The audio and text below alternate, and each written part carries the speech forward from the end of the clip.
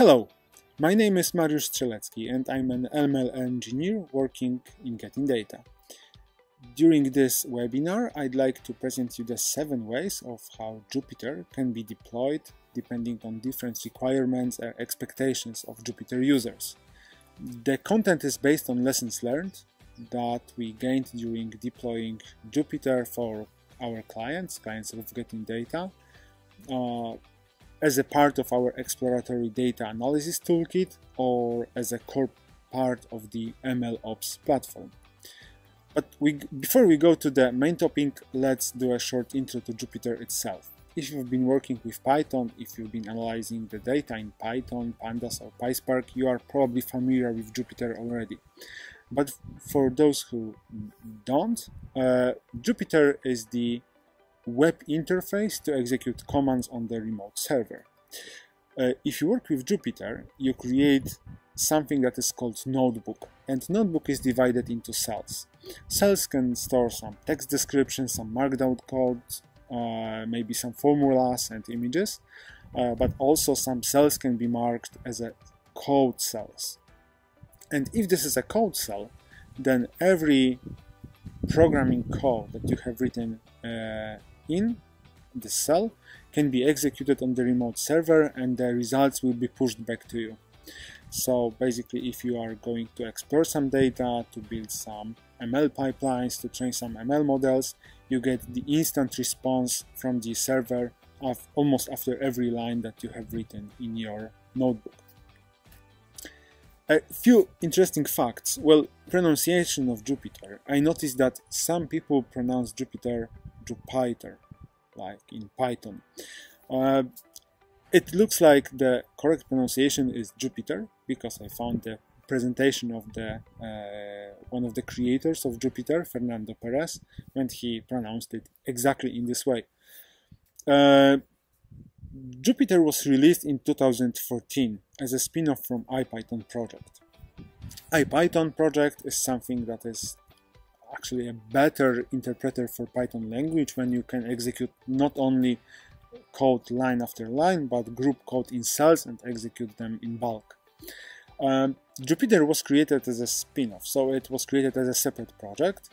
And one of the uh, arguments to make this decision was that uh, the creators of Jupyter have seen a capability not only to support Python, as IPython was supposed to do, but maybe to be even language agnostic. And it looks like it was a very smart choice because right now Jupyter can power not only Python notebooks, but you can use any other interactive language inside. And I will show you a few details about this later. Uh, Jupyter saves the notebooks in IPNB format, and this is a huge JSON files uh, that stores the content of the description cells, but also the code of the code cells, and sometimes even the output. So it can store either the inputs, and everybody can re-execute the same notebook, or it can even store the outputs, so you can uh, provide your notebook with all the outputs, with all the images, charts, and tables to your users. Jupyter can be interactive. There is a library to add widgets, and with widgets you can, for example, show a slider, and when user moves the slider to some other position, then it just fires the function to recreate the chart or recreate the table. It allows even more interactivity uh, with the notebook itself. Under the hood, under the hood, you as a user, you work with the browser. So you just open your browser, you open Jupyter URL, and then the mm, user interface is being displayed to you. Uh, the interesting part happens under the under the hood. So your browser communicates with notebook server that is actually Jupyter using standard protocols like HTTP and WebSockets. Also the notebook file is being stored on the Jupyter server itself. Uh, interesting part is here on the right part of this picture because notebook server if you decide to start it if you start for example the first cell it creates and then communicates with something that is called the kernel. And the kernel is just a process running on any system that implements the Jupyter wire protocol and can get the commands to be executed from the Jupyter and also provides the outputs using this ZeroMQ protocol uh, to the notebook server itself. Also with some other functions implemented like auto-completion, for example. Uh, and there is a lot of kernels for Jupyter itself. If you open the official wiki of uh, Jupyter, you will see that there is a lot of supported languages like Julia, Haskell, Ruby, JavaScript, TypeScript, um, Erlang, Go, Scala, Perl, and more. Basically, every language that has some kind of interactivity, when you can just run a subset of lines and get the instant input, uh, against that uh, instant output, is, is, is listed there because Jupyter is actually so popular.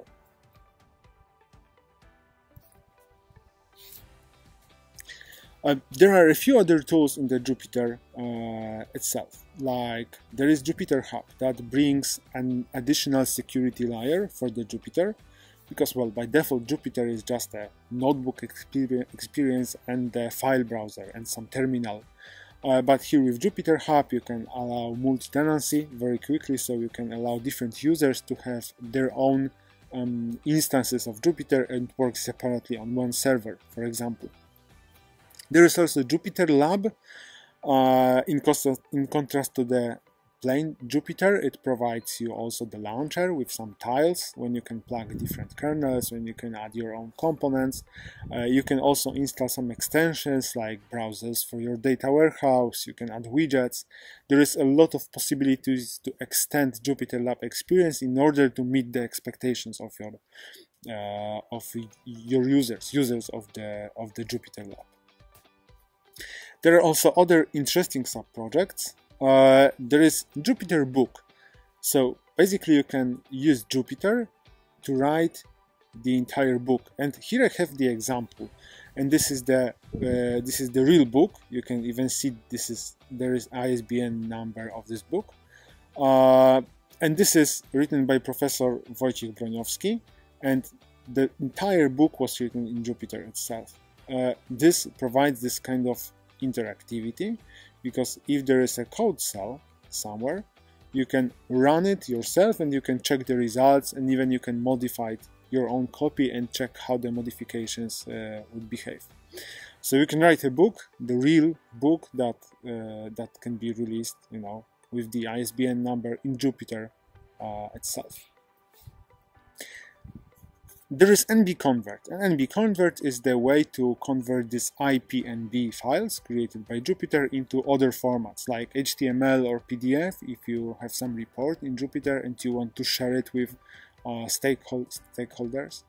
Uh, or you can even convert notebook into the Python code if this is Python notebook and execute it in the scheduled way on some um, uh, on some jobs orchestrator. There is NBGrader. NBGrader is a tool for teachers to create the notebooks that have automatic grading uh, system. So teacher creates a set of assertions and he, then users are supposed to write a function that meets these assertions assertions so this is something that for especially for learning programming it can be very useful to automate uh, some processes there is also NB Viewer. NB Viewer is a tool to display you the content of the IPNB files in the in the browser. So if you have a huge catalog of different notebooks and you want somebody else to just view it, to just make it um, well readable, uh, you install NB Viewer, you push your notebook somewhere, and then you can basically uh, browse the entire catalog of different experiments and reports. Well, you may ask yourself, is it even possible to install Jupyter, this notebook experience, in seven different ways? Well, it turns out there is no golden standard to, to provide this Jupyter for the organization. Uh, Jupyter itself is very simple application. It can be installed on the laptop, but in order to deal with some remote data, with some big data, in order to work with Spark ecosystem, it's worth it to have Jupyter being installed somewhere in the data center or somewhere in the cloud in order to allow users to quick uh, data exploration and um, in order to integrate the system with all the tools available uh, within the organization. Uh, and before we go to these seven architectures, uh, I will show you how do I compare this. So I collected seven different requirements for Jupyter setup. The requirements that clients were asking us about and something that was important for our clients and for the future users of this Jupyter. Uh, first, accessibility. Accessibility meaning that um, when service is deployed, it should be available for every person in the organization to access it. Not only to data scientists, not only to the very narrow group, but for everybody that wants to maybe do some exploration, maybe just see the report, or maybe play with some uh, data warehouse extension. Collaboration. Well, data scientists they usually work in the uh, team and they want they often collabor- collaborate on one project so there should be a way for Jupyter users to share work between them and to be able to, um, for example, edit the same notebook or extend the notebook or maybe even share the notebook as the idea for the for the next product. Scalability. Uh, this is very important uh, in the world of machine learning uh, because a lot of machine learning applications, libraries, they require some special hardware to run the process on. For example, sometimes if you plug the GPU uh, card into your server, you can get boost in your um, in performance of your exploration. So Jupyter should be should allow users to create these instances with high memory or uh, high high number of CPU cores, or even with the defined number of uh, GPU cards attached to not block users from doing their ML experiments. Also flexibility, because the standard Jupyter setup may be not enough for every organization. Sometimes you need some special considerations in order to security, in order to who should see what tables in the data warehouse and uh, flexibility, ability to install the plugins, ability to install the new kernels is something that is also in the area of interest of our clients. Then security, well, the default Jupyter setup is unsecure. So basically you deploy the service and everybody can access it. And this um, security aspect, so providing uh, multi-tenancy for Jupyter, but also auditing uh, is very important. Checking who fired what query on data warehouse and from what notebook. Then data availability and this is important factor if you are using some data warehouses and if you are exploring data with Jupyter. Uh, basically, um, Jupyter, well, if Jupyter is the main tool used to do a data exploration, it should be very easy in Jupyter itself to browse the data, to check the data, to load the data using Spark or load to Pandas. So sometimes you need to uh, authenticate to some external the external ecosystems. Sometimes this authentication can be provided to you.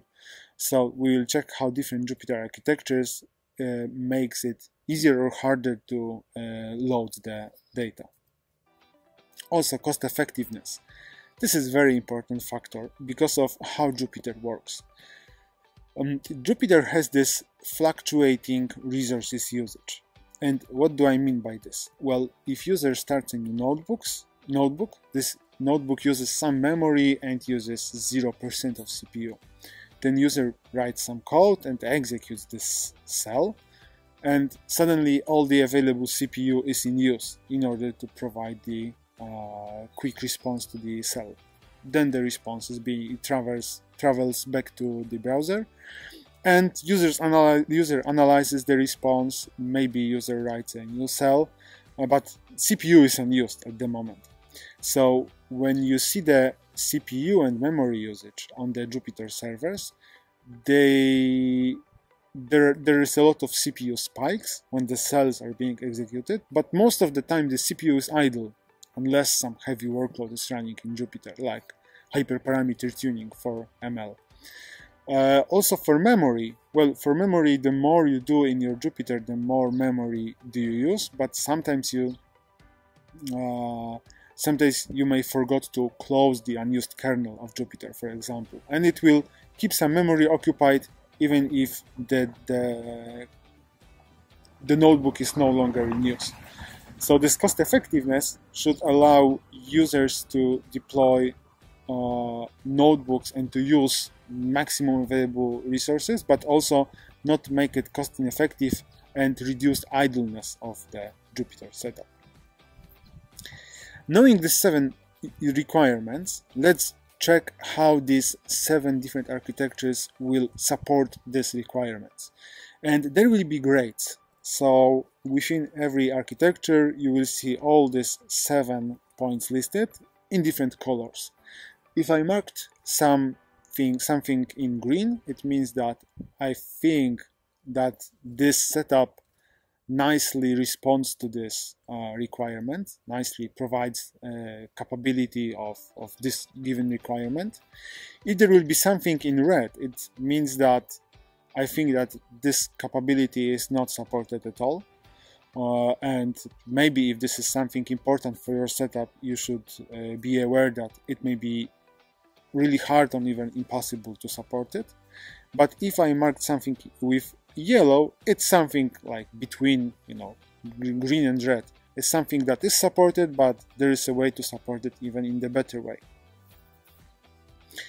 So, knowing this, seven requirements, accessibility, collaboration, scalability, being flexible, security, data availability, and cost effectiveness, let's move to the seven architectures.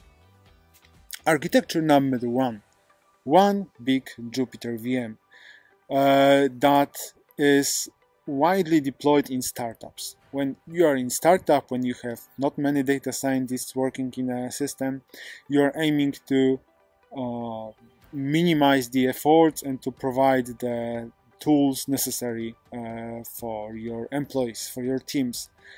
Um, in order to support this, uh, the we can you can just use the easiest setup possible. You can just create one virtual machine either in data center or in cloud, set up Jupyter there, and just share the Jupyter URL with the users. Every user will be able to log in there to uh, open a new notebook or open the existing notebook and to execute the cells.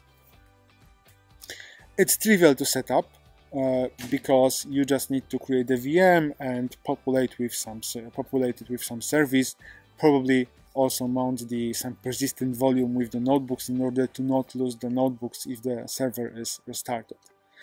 It's a very good use case if the entire data warehouse is readable by all the users, because you don't have actually any security layer here. So data warehouse uh, is available for every user uh, of this Jupyter setup in the same way, with the same set of access rights. Uh, people should trust each other because if they work on the same file system, storing their notebooks in the same directory, uh, they should trust each other not to overwrite the data, not to make unnecessary copies, not to look into the notebooks that they are not supposed to look into, and so on. Also, you cannot get any accountability um, property here. So basically, you cannot see who executed what notebook, when, and why, uh, because all the notebooks are just running uh, using the one um, uh, system user, and basically uh, you can only ask your users.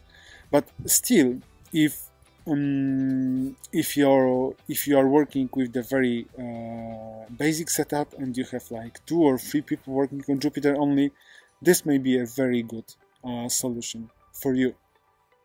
Let's see the grades. Well, accessibility it's on green because, well, if Jupyter is just a public service, then you just need to share this URL of the service with your users and they access it and everybody can access it. Collaboration, it's on green because if users reuse the same instance of Jupyter, uh, they can even share the uh, link to notebooks between them and everybody will see the same uh, the same view. Scalability, it's on red uh, why it's on red? Well, first when you create this VM for the very first time, you will propagate some some resources to this VM. Uh, suddenly, if some user wants to experiment with ML model that requires high memory usage, well, the only way to support it is to recreate this virtual machine with uh, bigger requirements. Or if somebody needs the GPU, you need to recreate with plugging, plugging the GPU. So every time you want to allow users to do something for their something not not specific, not standard, you need to scale the VM and then maybe just maybe scale it down when the experiment is over. That's why scalability is very manual. It's and it's basically not scalable server. If you're running in the cloud, you can maybe do this uh, quite quickly, but it's always some kind of maintenance break for your users. Flexibility, it's on yellow because you can adjust Jupyter to your requirements, but every user keeps uh, will have exactly the same uh, Jupyter experience. Uh, so if one user requires some special system library with some special version for their um, uh, for their experiments, uh, if some other users need some the same library but with the other version, this uh, this setup will not support it because you are running on one operating system. Security is on, on red and this is well the obvious grade uh, because uh, here we do not have any security or accountability on our system. Data availability, availability it's on green because the data are, can be actually made really uh, nicely available. If you are running um, the data warehouse based on uh, Hadoop and maybe based on Kerberos, you can just authenticate the entire server to read all the data. If you are running the data warehouse in BigQuery, you can create a service account that will have full access to this BigQuery dataset. And users do not need to care about authenticating to the data warehouse. Cost effectiveness, it's on yellow. And it's on, on yellow because the system is kind of cost effective meaning that well users share the same CPU share the same memory so they reuse as many resources as, as available. Uh, but in this setup we often landed with the problem of um, forgotten kernels. So users do something uh, in their notebook they do some experiments they for example uh, reserve a big chunks of memory for their setup and then they close the browser and they never go back to this because they already know the results in this case this kernel is um, uh, still running there occupying some memory and maybe some other users will see okay maybe we need to scale VM up because there is no free memory and actually there could be so this cost effectiveness, it's on yellow because the system is not super cost effective, uh, but it shares some resources. So that's a, that's a good thing, the computational resources. The second setup is based on creating Jupyter Hub with local VM spawner. How does it work? Well, you still have one big virtual machine, but instead of providing just Jupyter experience, you install Jupyter Hub. And Jupyter Hub will provide the login form for users to authenticate to the system. And after authentication, user can create their own uh, Jupyter container inside in the server, and user will keep um, uh, his or her own notebooks within this uh, container.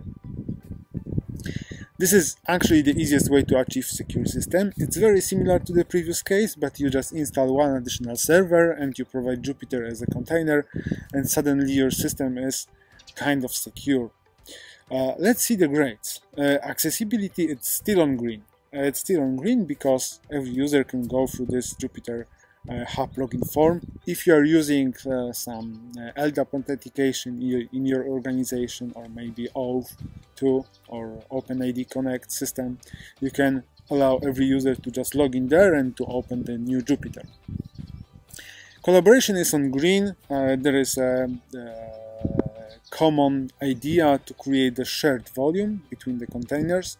So if one user want to wants to um, share the notebook with some other user, uh, then this user just copies these notebooks into the shared folder and now every user can see it and can browse it and copy maybe to their own workbench.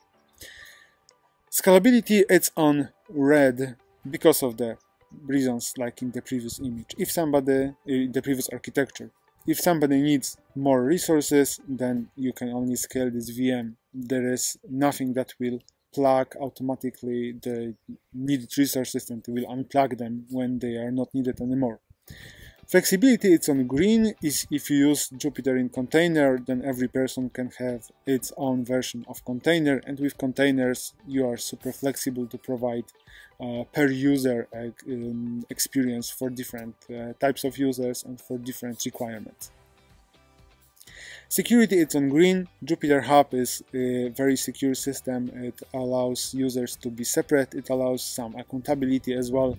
So you know who what user is, is accessing what workbench and when. Uh, data availability is on yellow now because if you create a new Jupyter instance for every user, uh, then you need to provide some way for users to authenticate to this external ecosystem. And this authentication, well, needs to be kind of permanent because so so users don't need to re-log in every hour, for example, to your Google Cloud.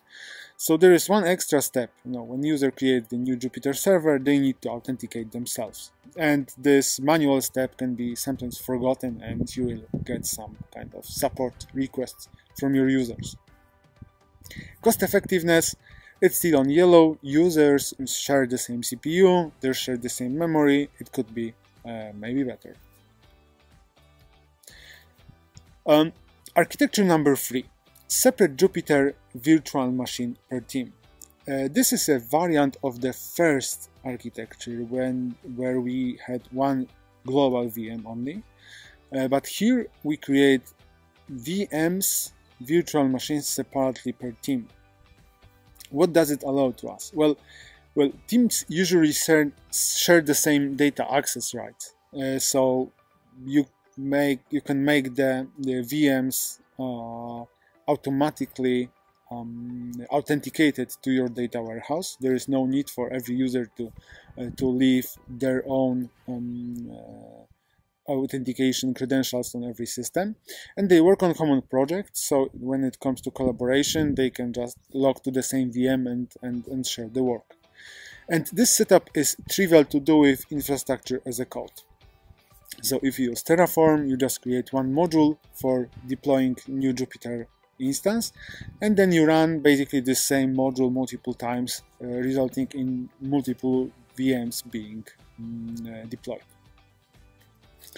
Let's check the grades. Accessibility, uh, it's on yellow because right now we have the Jupyter VM per team. So if some person is not a member of the um, of some data science team, then this user may have some issues accessing every uh, accessing some some Jupyter uh, system, and maybe you need to provide something else like the Jupyter for other clients, something like this. Collaboration is on green because you, people usually collaborate within the team and within the team they just share the same uh, workspace and they can collaborate very nicely. Scalability it's on yellow uh, because it's kind of better than in the previous setups. If some team decides to go to the ML way and they are experimenting with TensorFlow and they want some GPU uh, instances uh, for their experimentation. You don't need to put to maintenance every single Jupyter uh, kernel, Jupyter Workbench in your system. You just need to coordinate it within this single team. And it's always easier to just coordinate it in this way, especially when it comes to upscaling and downscaling that is manual. Flexibility it's on green because every Jupyter uh, setup can be adjusted to the specific team requirements. Security is on green, you just need to apply this extra layer, so you need to check that, you need to ensure that only users from specific teams can log to their Jupyter VMs. You cannot just allow open access anymore. Data availability it's on green because you can provide the uh, automated keyless way to uh, access data warehouse from your Jupyter uh, notebooks based on the team access right. and cost effectiveness, it's on it's on yellow. The system is maybe better cost effective. The users do not share CPUs anymore, but uh, you don't need to keep uh, oversized, one big oversized virtual machine just in case if some team wants to do some experimentation. You can tune them uh, very nicely and you can use smaller uh, VMs uh, if they are available and if the teams do not have um, that you know big requirements of the computational power. Architecture number four, it involves Kubernetes, uh, and I named it Jupyter on Kubernetes, the quick kubeflow case. Uh, what do I mean by quick? Uh, when you install Kubeflow um, platform that provides you, uh, among others, it provides you the Kubeflow notebook system to create the notebook servers, then every notebook uh, is just a separate container running somewhere in, in Kubernetes every notebook server. Uh, and some people used to say that, well, Kubernetes is the best way to share resources between the, the different processes, uh, so maybe it should be actually a very cost effective uh, solution running this in Kubeflow. Uh, but unfortunately, if the teams, if the users of Jupyter have no knowledge of Kubernetes, of how the resource management in Kubernetes works, it may lead to some issues like a huge underutilization of the resources. Uh, when you create a new notebook, uh, then the Kubeflow interface will ask you, well, how much memory do you need for your notebooks? What uh, for your notebook? What are the limits? What are the requests you want to add? And data scientists and data analysts that want to explore the data, they usually do not know. Uh, they just require enough memory for for their their idea not to starve for memory but they don't know exactly in megabytes or in gigabytes how much memory do they need so they usually claim the bigger memory the bigger you know the, the, the larger memory amount and this causes uh, to this imitation of, of cost effectiveness so setup on Kubernetes seems cost effective because you know there can be multiple Jupyters running on the same on the same node. But usually if users provide the, the very huge request of resources it's not the case. On the right you see the um, the wizard uh, the wizard page uh, that is used to create a new notebook server and then you can see that you need to specify the total amount of CPU and RAM reserved by your notebook server. And users usually put the biggest, uh, bigger numbers there because they want the data to be calculated quickly and with no memory issues. And it leads to huge reservations that are unused most of the time on the Kubernetes. Let's see the grades. Accessibility, it's on green because with Kubeflow, with this uh, DEX uh, authentication that is installed by default, you have a lot of ways to make it accessible for, for everybody. Collaboration is on red now because every user um, uh, runs in their own namespace in Kubeflow.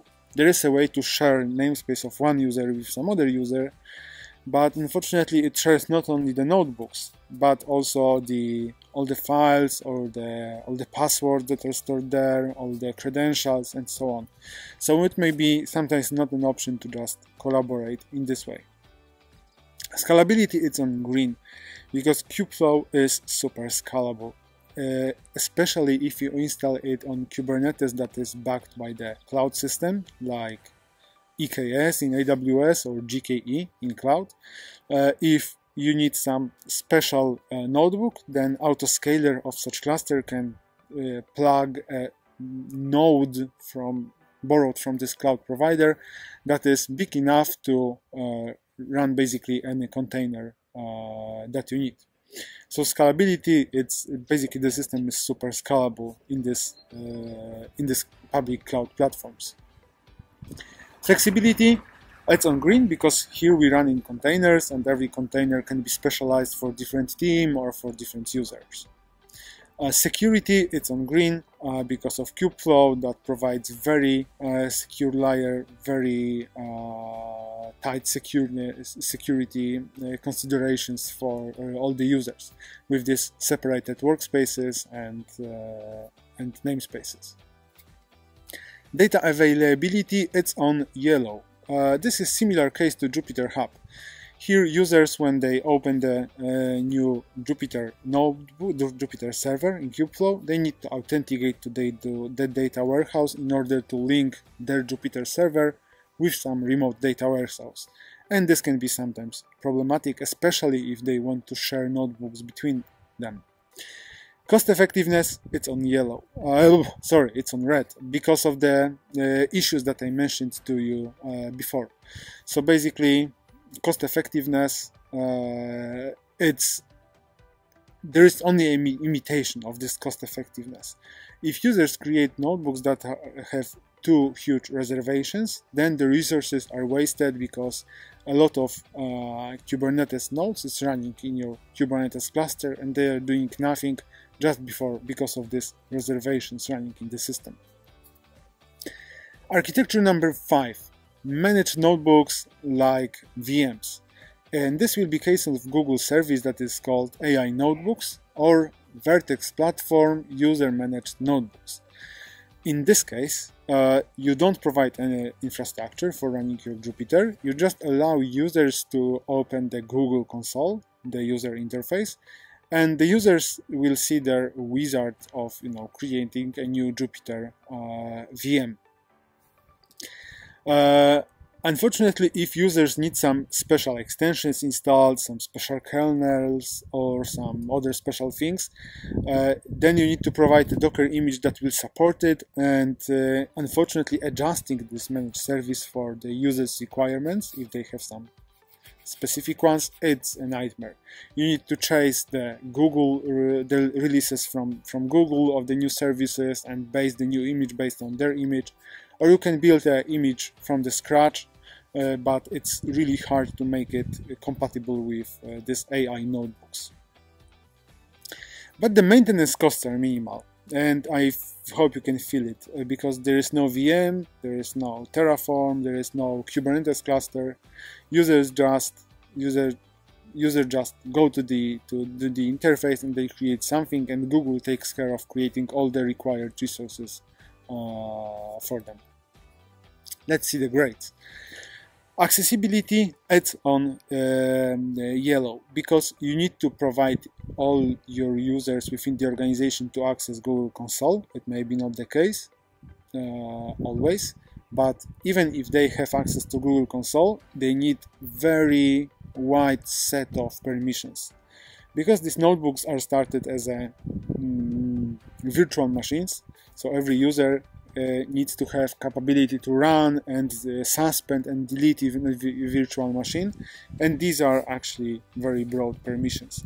Uh, if you are using using uh, google vms for something else like running some microservices or, or, some, or some clusters then it may be not an option to provide this wide permission set for every data scientist.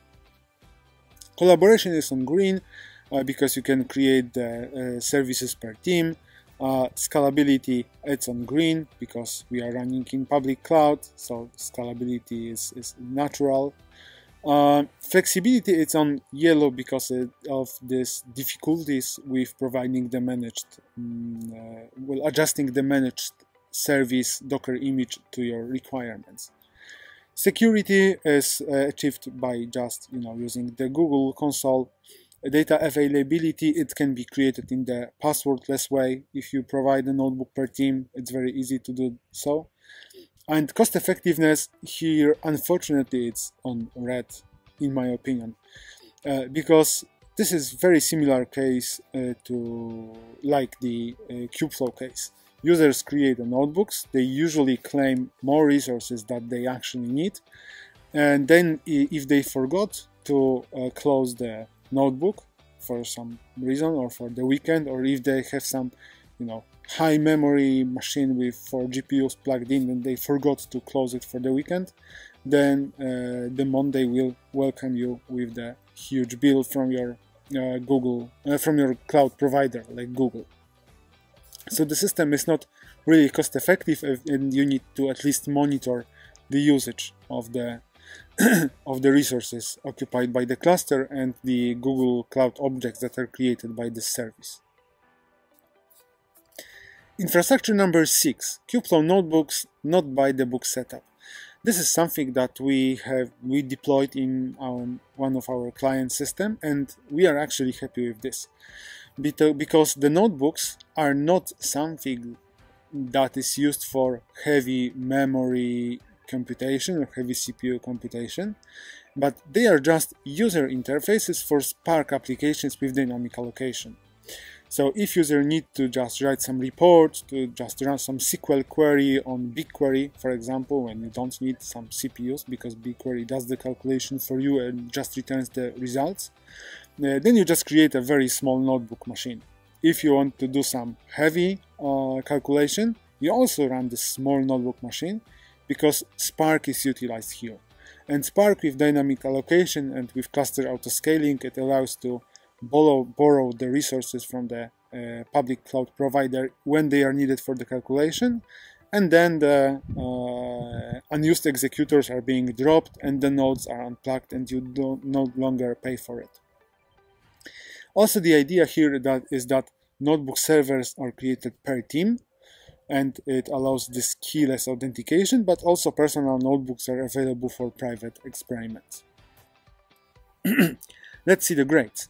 Accessibility provided by Kubeflow on green, collaboration if no teams work on the common projects in this team-wide notebooks, then it's on green.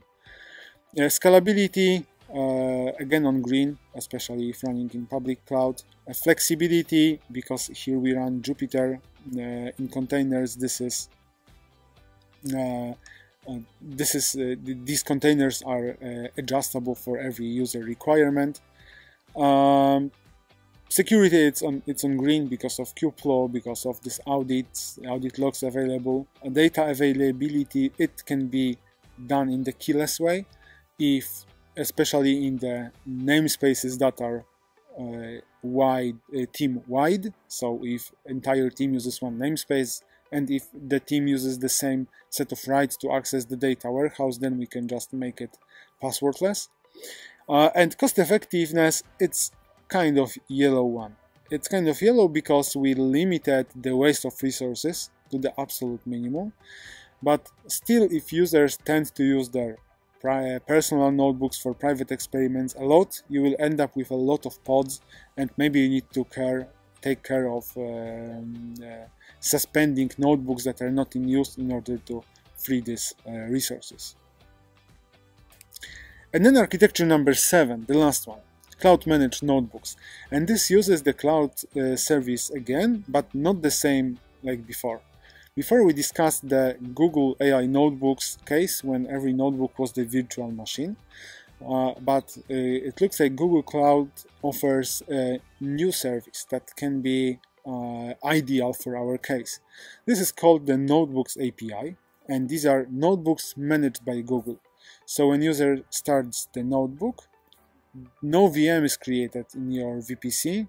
Basically, some container is created in some Google VPC, and user just sees the link to this container, and user is authenticated to the no notebook. This is still in experimental phase, and only four regions are available. But it seems like a very good case for running this ad hoc analysis or quick ML experiments. There are no maintenance costs uh, and the bill is clean because it shows you exactly what notebook used, uh, how much resources, uh, at uh, what time. Uh, the notebook can executions can be easily scheduled because if you have your notebook in some container running in some Google ecosystem, then if you need this to be scheduled, then Google will, will start the notebook, execute it, and shut it down easily. And also, if you need some Spark experience, you can run remote kernels on Dataproc. And Dataproc is the uh, managed Hadoop uh, from Google. So you can use the same if you need a distributed processing. It is not available by default on these containers, but you can run the remote kernel. And the grades. Accessibility, it's on uh, green because right now you just need to ensure that your users have your your colleagues, the teams that you are providing Jupyter for, that they have access to Google uh, console, to Google UI, and right away they can just start experimenting with the system. There is no need to provide very wide permissions like permission to create the virtual machine. Collaboration it's unfortunately on yellow because uh, these days, at least as far as I know, there is no way for multiple users to to reuse the same notebook server. So these are like private servers. Scalability it's on green, we are in the cloud. Flexibility is on yellow because if you need to adjust this managed service for your specific requirement, this is a similar case like for AI notebooks from Google. There is a lot of uh, tuning, a lot of considerations uh, on how to install like some special extension inside. Security, it's on green uh, because Google covers it. Data availability, it's also in green using service accounts in Google. And cost effectiveness, I think here we can add a green mark.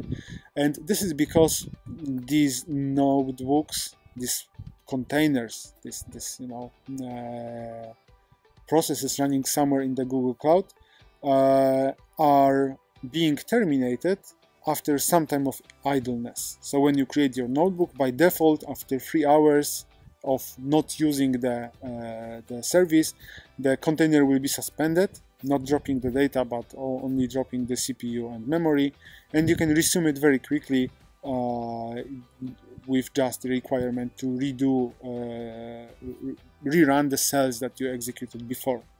So this three hours it makes it really easy to make the system cost effective, to not leave the notebooks that are not in use in the system, uh, and not to uh, have too much, much memory unoccupied for things that are no longer in use. Summary. Well, we check different architectures of providing Jupyter experience. Jupyter on VMs, Jupyter on Kubernetes, and Jupyter in public cloud. And after this presentation, I hope you have no doubt that one does not simply install Jupyter.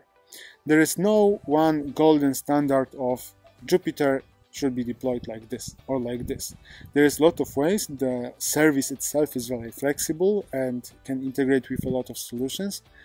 And every time considering the Jupyter setup in your organization, you should take into considerations all these uh, requirements that different setup support that different setups support or not or support but maybe not ideally. Cloud offering seems promising uh, because with the especially with this fluctuating resource utilization cloud offering can help a lot in order to borrow the resources the computational resources when they are needed and then give them back to the other to the to the cloud to the pool when they are not needed especially with this uh, auto-termination of idle kernels. And Jupyter on Kubernetes, it makes sense to use it, but only with users trained to understand Kubernetes. If you just install Kubeflow or any other Jupyter on Kubernetes uh, flavor, and you just allow users to create any container of any size and just keep it uh, as long as they need it, then you will end up with a lot of underutilized resources and this can be super cost inefficient uh, setup. Thanks for listening. I hope you enjoyed the presentation. In case of any questions, there will be some contact information in the description of the video. For now, I just wish you a great day. Bye.